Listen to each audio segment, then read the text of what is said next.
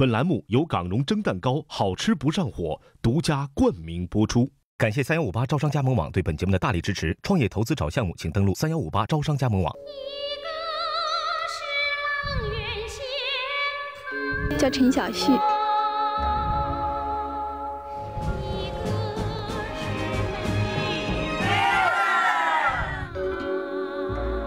没有一个角色能超过这个王熙凤。我有一流导演的水平，但我有三流导演的运气。我自己得了那么多次癌症，我都没死。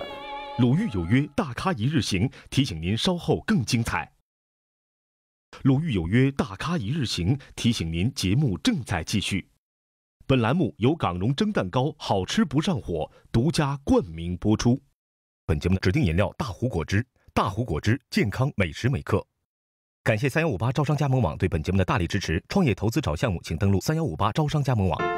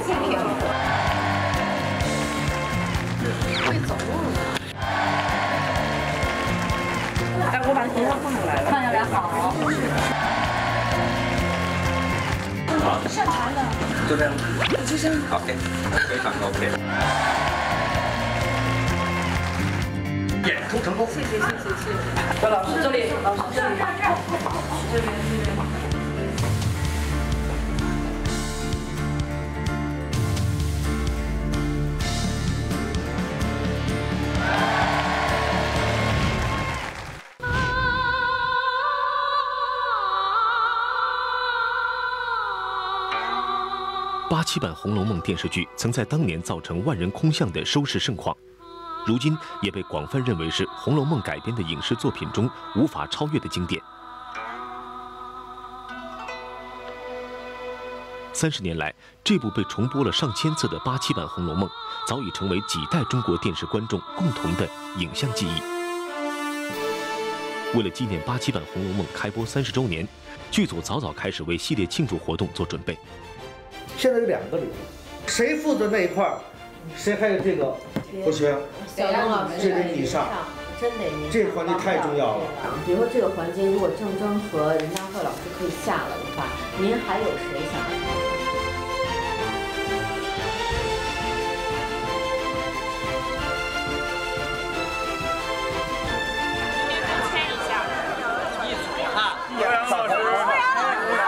王老师，王老师好。他也是。这个这个。你看，王老师，八七年四月份。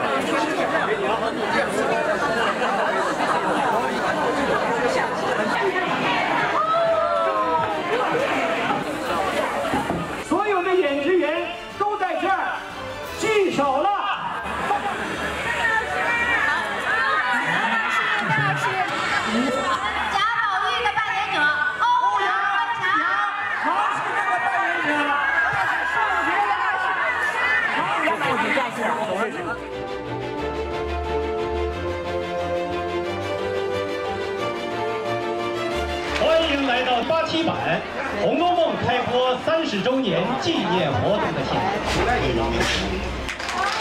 不清楚了啊！一、二、三，掌声在哪里？一二三，起！六月十七日晚，他们在人民大会堂以纪念音乐会的形式，和男女老少几代观众一起见面。鲁豫来到人民大会堂，深入参与并独家记录了这场音乐会的台前幕后。人都想神仙好，神仙好，没有金银忘不了。那谁能忘？终朝之恨，举目多。嗯。几道多事掩蔽了，眼闭了，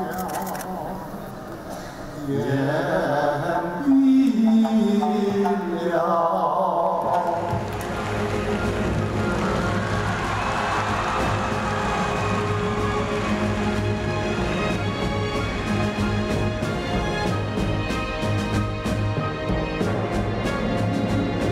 因为那场地很大，要坐不满，票卖不出去怎么办？后来全场爆满。然后我也是一开始一开场，他们一出现，当年的样子，现在样子，我当时就有点，我不想在电视上哭，就是我忍着，但其实那时候是挺感动。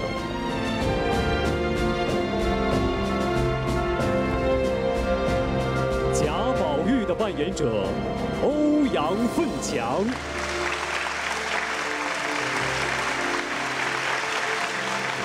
王熙凤的扮演者邓婕，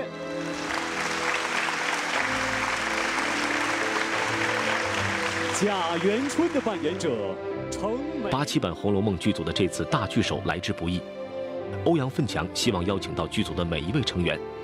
这次活动的一年前，他开始寻找曾经失联多年的演职员们。导演王扶林、作曲王丽萍等幕后主创已逾耄耋之年，十年来，十来位久居海外的主创也齐聚北京和大家团圆。八七《红楼梦》剧组成员几乎悉数到场，但是有两个重要人物却不在其中。一个是已经病故的林黛玉扮演者陈晓旭，另一个是薛宝钗的扮演者张丽。生活在加拿大的张丽，在聚会前几天突然生病而未能到场。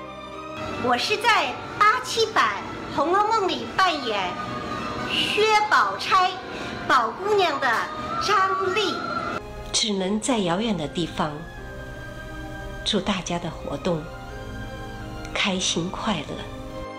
演员们相隔三十年再一次站在观众面前，除了怀旧和回忆，不得不引发外界关于命运的讨论。很多人说，八七版《红楼梦》的演员们和他们所饰演的角色命运惊人相似。而这次陈晓旭和张丽巧合的缺席，冥冥之中和贾宝玉的背金盗玉暗合，似乎更验证了这一点。一朝入梦，终生不醒，他们走得出《红楼梦》吗？回答这问题之前，先穿越回三十年前，让他们回到黛玉初进贾府的时候。黛玉心中疑惑着，这个宝玉不知是怎生个被懒人物。你这该死的胡说！你弄来这些淫词艳曲来看，还说这些混话来欺负我！我告诉舅舅和舅母去。懵懂顽童，倒是不见这蠢物，也是罢了。演员们正在朗读的《红楼梦》原著中林黛玉进贾府选段。八七版电视剧《红楼梦》在第一集和第二集用影像语言高度还原了这精彩的片段。这个妹妹，我见过。又胡说了！你怎么能见过他呢？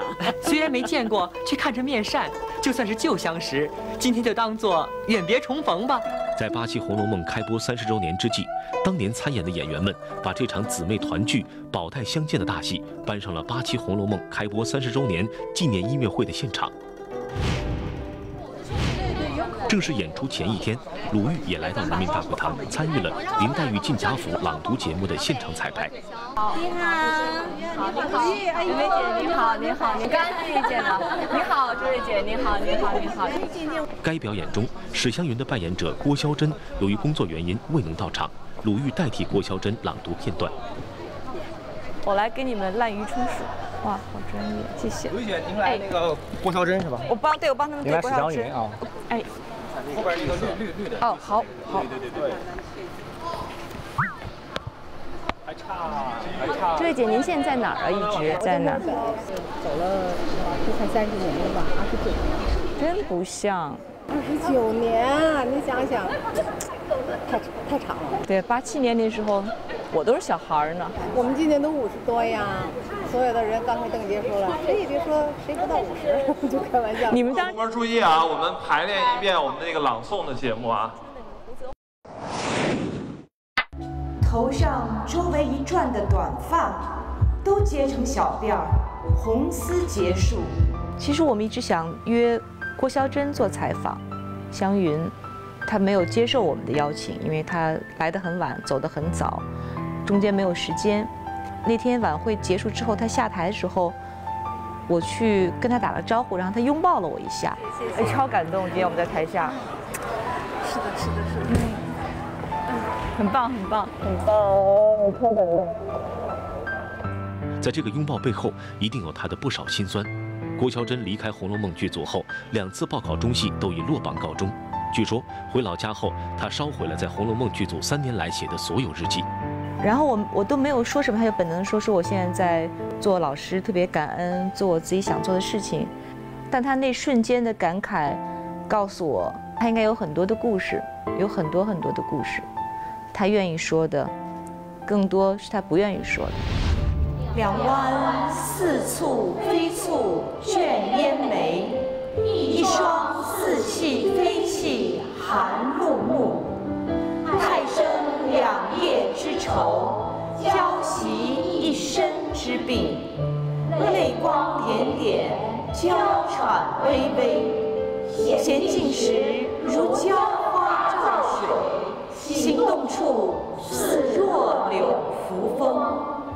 心跳比干多一窍，病如西子胜三分。然后已经非常好了啊！我们非常期待明天的这个节目，而且今天我们还有一个史上最瘦的史湘云，啊，这个，呃，好感动，特别感动，特别穿越。啊，那真是真的，真的，真的特别好。当时这个节目的时候，我们大家都很纠结，不知道演了观众会什么感觉，是吧？肯定会特别感动。我觉得他们说还有好多九零后小孩会来。两天以前见到他们，呃，说北京见，然后就哭啊，在外面街上见到我。肯定的，都你想都是三十年嘛。看这个戏时候高中毕业嘛，十七岁、十八岁。真是太好了。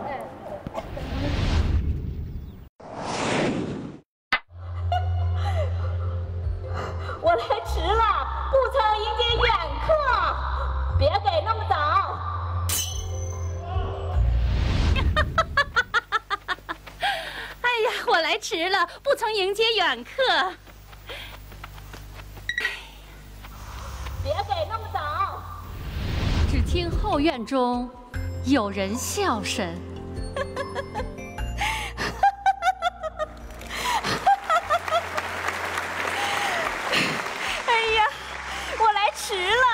不曾迎接远客。这个妹妹，我曾见过的。可又是胡说，你又何曾见过他？虽然未曾见过他，然我看着面善，心里就算是旧相识。今日只做远别重逢，亦未为不可。今日，今日，今日，只做远别重逢，别重逢，亦亦未为未为不可。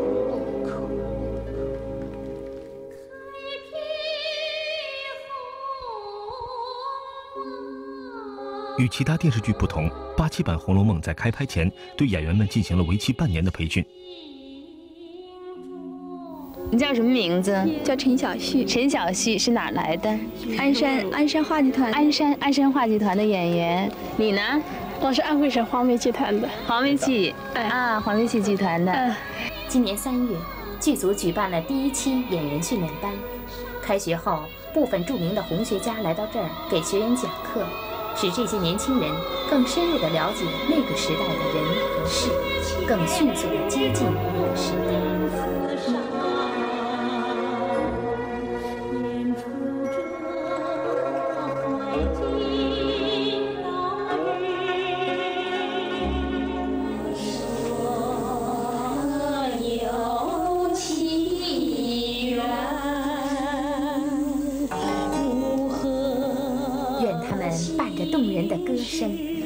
人们的心愿，演好这出悲金悼玉的。当然，在如今我们这个年代，想，哎呀，你花四年半的时间做一件事情特别牛，我觉得特别特别值得尊敬，值得赞颂。但它其实应该是一个正常的一件事情呢，只是因为我们现在的标准可能有些低了，才把一个是值得钦佩的事情给它放大的很多，把它给神化了。我们怀念那个年代，怀念八七，是因为觉得我们内心还是向往崇高，向往纯净美好，向往那种专业职业的精神。具有表演天赋的邓婕，更是凭借对王熙凤一角的精彩塑造，获得1987年飞天奖最佳女配角，也是八七版《红楼梦》剧组中唯一一位获奖的演员。但当时邓婕刚到剧组的时候，并不被看好。之前所有的人都不看好我。我第一次知道能演这个角色的时候，是他们把陆湘娜带回北京，嗯，夏明峰老师就给我写了一封长长的信，很激动。说你知道吗？王导说你可以试王熙凤。当我真正的那天到了北京以后，人大会主任来接我，他说：“邓姐，邓姐，叫到处叫，说主任，我就是邓婕啊。”好，嗯，看那个就没有再没有话了哈。就这样，我看出他的失望，我我自己也知道，人 人家扔那个人堆里就基本上找不着。邓婕大家反对的理由也有，个子太矮不合适。我认为电视电影是可以作假的，可以垫高的。重要的是 camera face。现在印象还很深，他们把这个成都的邓婕这个录像带给我看的时候，我一吃一惊。我说太漂亮了。最后我是逆着大家的意见定的王熙凤。当时虽然我演了王熙凤了。嗯，但是在剧组呢，那种感觉好像还是很多人觉得，还仍然不看好我。整整三年里头，我都是那种特别压抑的那种那种状态。有戏就拍戏，没有我戏的时候，房间看书。那你到什么时候才释放，才不压抑的？拍那个协力宁国府那场戏，准备了三年啊，就让我太失望。因为王熙凤好重的一场一场戏呀，结果那天一拍。灯一开，就是这个天，所有的当有一种虫子叫油葫芦，啊就扑啊往脸上扑，满场都是，哇就没法拍戏。后来王导关灯打虫子，啪啪啪啪啪一通啊，满地的那个虫子的尸体，完了就扫扫，哎呦就大家都没心气儿了，哎呦我气的，我说这么重一场戏，太可惜太可惜了。结果后来。我一看，哇，怎么那么好啊？哎，就在那种情绪下拍，那种那种状况下拍出来的这场戏，我说怎么那么好呢？我自己都不敢相信。睡迷了，明儿我也睡迷了，后儿他也睡迷了，将来都没了人了。本来要饶你，只是我头一次宽了，下次别人就难管了。不如现开发的好，带出去打二十板子。后来我我自己想了想，这就是说这个这个三年当中，我们都在这个人物当中了，就这个人物已经附体了，就你怎么演都有，怎么举手投足，只要一化上妆、穿上服装，就是这个人嘛。大家往那儿一一坐，栏杆上一坐，谁都是他，就是这个人物。所以你怎么演，只要把台词说对了。就是他了，但总的来讲呢，这波演员是很难找了。当然，我们花了那么大力气，不是街上拉了一个就是就是他了，不是这样。这这经过这识别、鉴别、培训，啊，学习专家讲课灌输，这么出来的人物啊。他们也挺幸运的，等于那三四年时间就上了一个大学的红楼专业的一个像博士生一样，因为连。那些每一个导师都是可以当博士生导师的呀。对，那个演机遇的那个演员，嗯，他就鞋厂的一个临时工。好几个我看都是从工厂找到的。演赵姨娘那个就是呃辽宁还是沈阳的一个饭馆的这个营业员，呃，演迎春的那个杭州那个那人民公社的话务员，呃，他就业余喜欢这个东西，呃，没有正式的。影视经验，啊，还有好多都是这样的。所以您改变了很多人的命运。哎，确实。一九八三年报刊上的一则《红楼梦》电视剧海选启事，改变了很多人的命运。陈小旭就是其中之一。他是我还没开始选演员了，他的资料已经寄过来了，寄过来了，我一看呢，有点门儿。我特别欣赏的就是他会写诗。哎呀，我说这样的姑娘太难找了。黛玉，她写的《葬花词》在全《红楼梦》里头写的最好的一个人，她是有诗人气质的，她是个才女，这是最主要的。被选入《红楼梦》剧组的陈小旭，并没有马上确定出演林黛玉。王扶林导演安排陈小旭和其他演员们先进入《红楼梦》学习班，通过观察演员们在学习班的表现来分配角色。当时几个主要角色的竞争都非常激烈，与邓婕一起备选王熙凤一角的，有后来在香港自杀身亡的乐韵和最终饰演尤三姐的周月，而和陈小旭一起试镜林黛玉之一的，就有贾惜春的扮演者胡泽宏。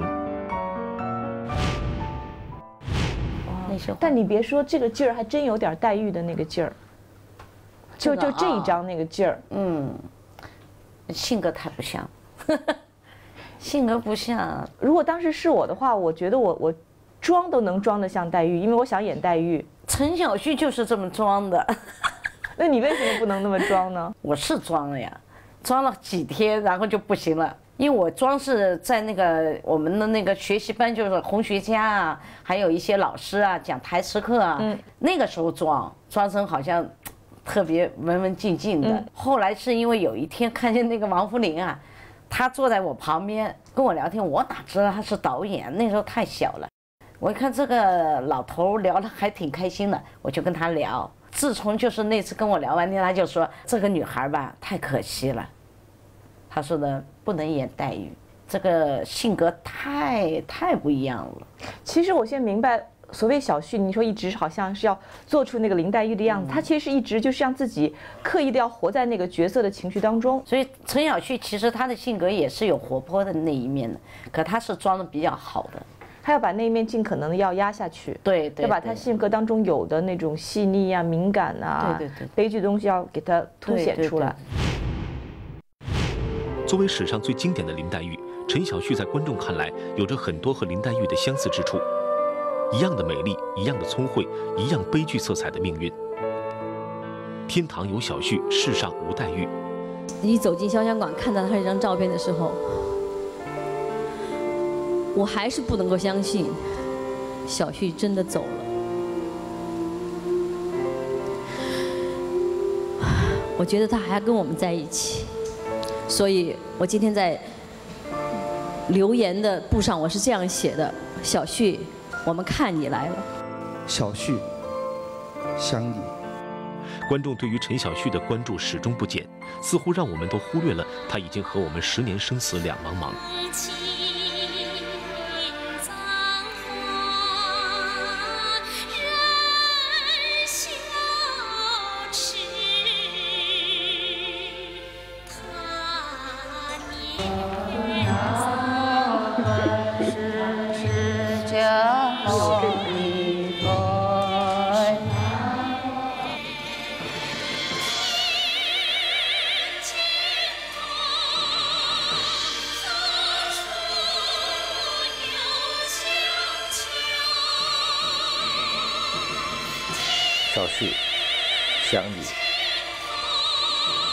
在天堂越走越好。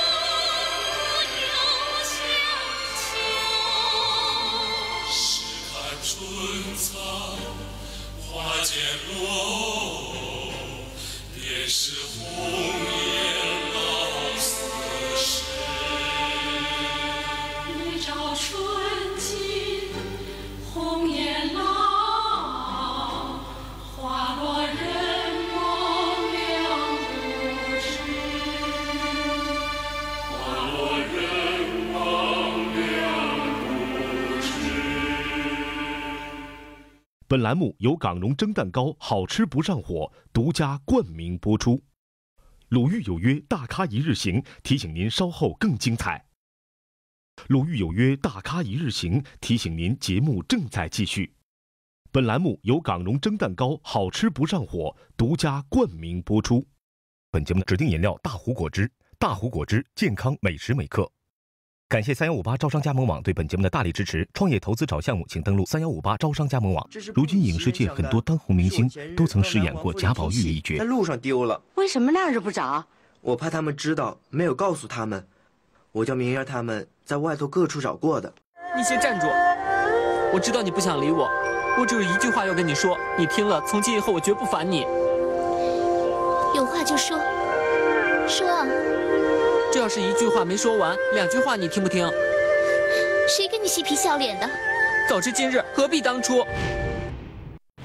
昨天都还有人在问我说你们当时有多火，我说这么说吧，就你们现在看在电视里面或网络上面的那些小鲜肉有多火，呃一出门满街的鲜花，把这条路给砸断了，完了无数警察在维持秩序。我说我们都遇到过，就你们去想象他们有多火，我们就有多火。《红楼梦》拍完的时候吧，当时中央电视台就问我们这几个主要演员吧，啊，就你们想干什么？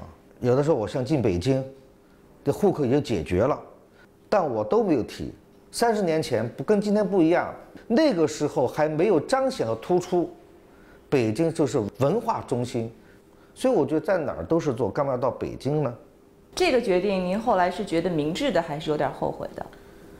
这个 还是后悔吧，是的机会非常多，我觉得我就想做幕后，我觉得不要被眼前的利益所诱惑，所以我当时到电视台的时候，电视台台长找我谈话，他我你们这儿职称什么？我不要不要不要，啥都不要，你再把我关系调过来就可以。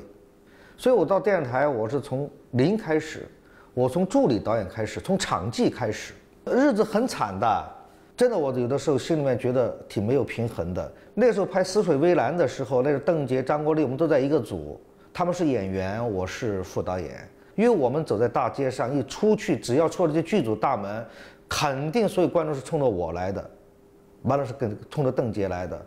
那个年代啊，才是张国立。但是，一回到剧组里面，我就是孙子。早上我得天不亮起来，先给导演把牙膏挤好，把洗脸水打好，送到导演的房间里面去。完了，我就去组织群众演员了。组织好群众演员，我再回来请导演起床。我从一大早就去找群众演员，那个时候也没有也没有经验，第一次做。完了，我就在那个村子里面，我就挨家挨户的去去找。我就去求啊！我说下午两点钟，请你们一定到这个操场来，我们拍拍俩镜头，怎么怎么拍电视剧的。好，我就同样的台词，在一上午翻来覆去给家家户户都说，完了几乎呢，最后大家都同意要来了。到了下午指定的时间，我到现场一看，没有一个来。那后来这个时候导演急不急？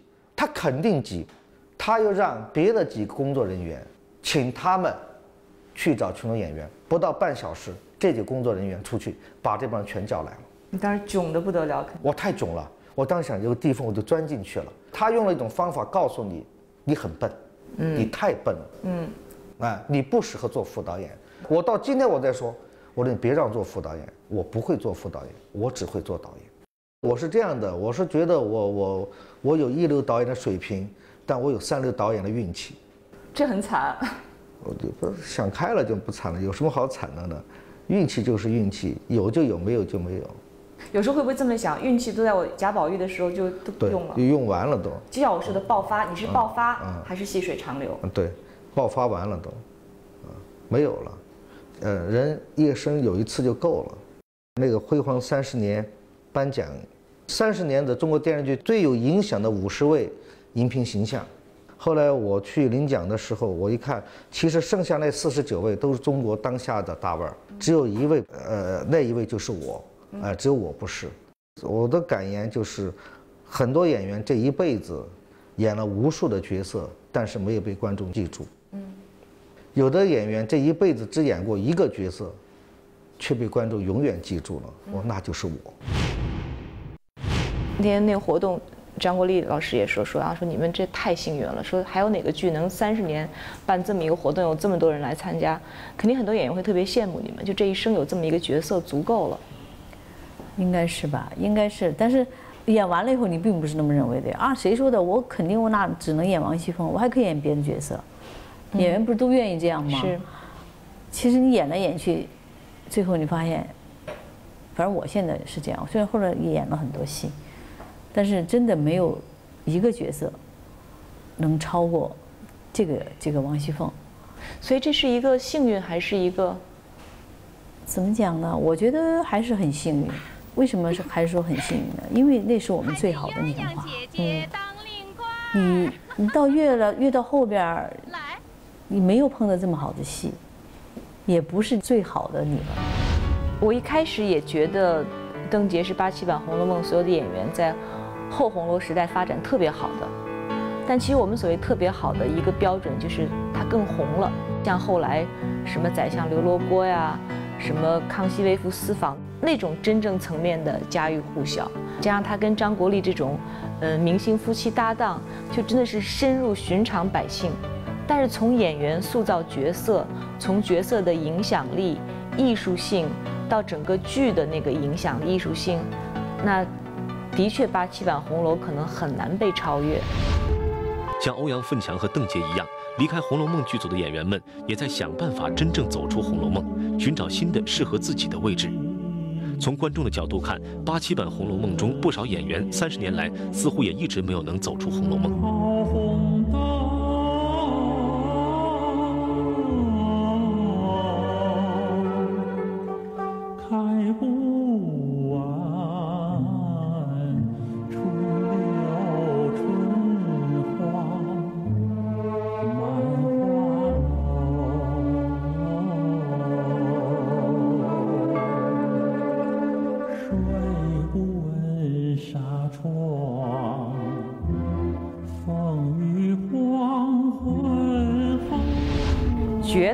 人，只要你活到那个年纪，都不可能没有坎坷。加上我们的确入戏太深了，我们看他们怎么样都传奇，怎么样都神，那种跌宕起伏的，所以格外的赋予他们戏剧色彩，更多的是悲剧色彩。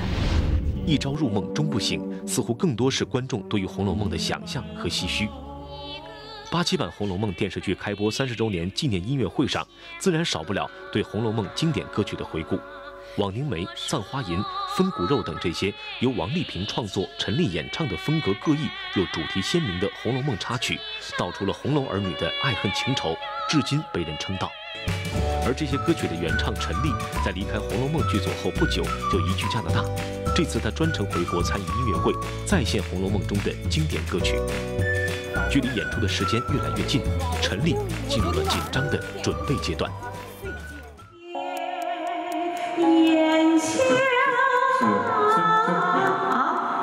陈丽，稍微休息一下，我们商量。OK。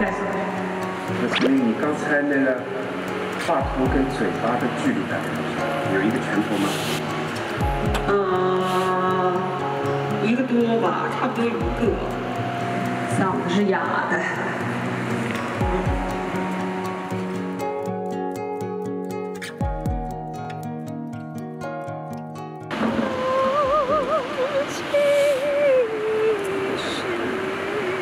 我们欢迎八七版电视剧《红楼梦》歌曲的主唱者陈丽为我们带来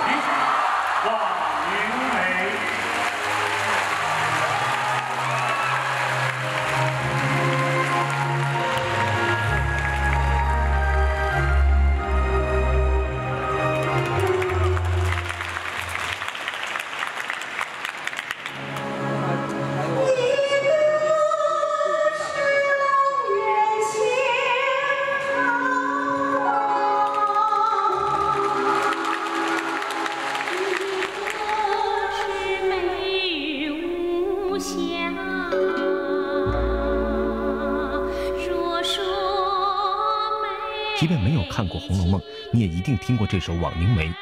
陈丽曾是长春一汽的化验员，被作曲家王丽萍发掘，成为《红楼梦》电视剧的主唱。她的人生也从此改变。像现在，如果一个歌手不要说我有十二首歌，我有一首歌的话，我靠这一首歌我就能够能够吃一辈子。对呀，当时我的这个演出费是最高的了，莫内。我好奇那时候您的最高演出费是多少？我和毛阿敏都是一样的。我就给你举一个例子吧，我一场三百块钱，那英十块钱。我三百块钱都给十块钱，就是这种比例。啊，对，但是我就走了，在最好的时候走了，也是无奈。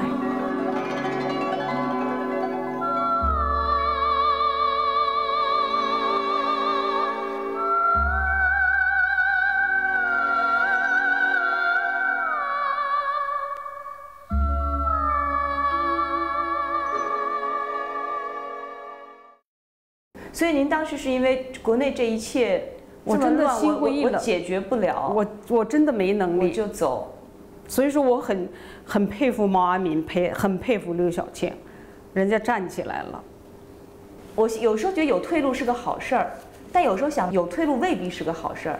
其实没退路也是个好事儿，看你两看，看你怎么看。对对，没退路你就必须得闯过去啊。对，如果那时候没有一个人对呀爱您、等着您、对呀支持您，那我你就一个人我就一那也就可能磕过来。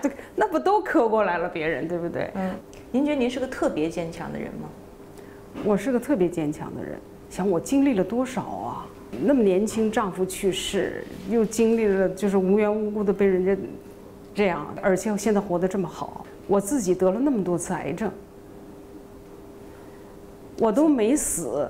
从国内到了加拿大没多久，可能就是在国内的压力造成的，一直胖，然后高血压，高血压高压到两百二，低压一百四，就怎么都查不出原因，头剧痛啊，头疼的我就真的是哎呀，就抓着这个头就疼的没办法。五年我就吃降压药也降不下去，就咳嗽咳嗽。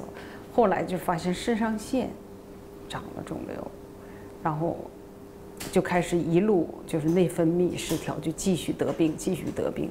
所以说我通过得病，我就真的是什么都看开了。很多事情，你不身处漩涡中心，你感受不到那个那个扎心般的疼痛。我们老说，哎呀，你不要在意别人的那个看法嘛，那是因为说的不是你，所以对他的打击一定是大的。而且他在那样的一个艺术生涯的特别黄金的时代，他必须要离开，愿意或者不愿意，他内心一定是很割舍不下的。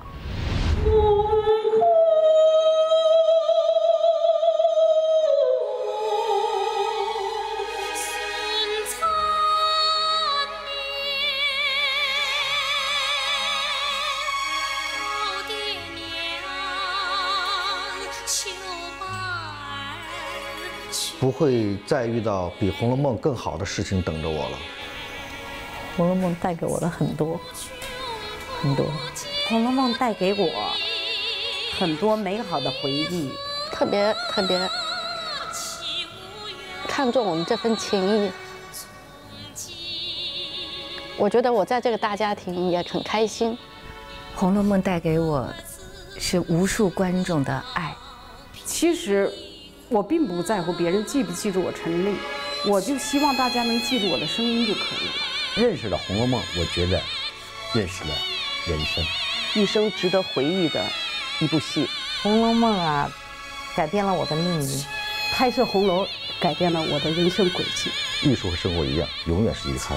只剩下白茫茫大地真干净。你再荣华富贵，不过最后不都是白茫茫大地真干净？好就是了，了就是好。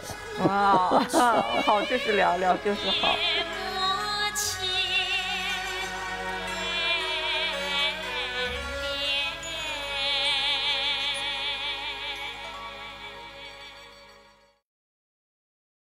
鲁豫有约大咖一日行提醒您稍后更精彩。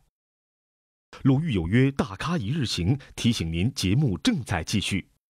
本栏目由港荣蒸蛋糕好吃不上火独家冠名播出。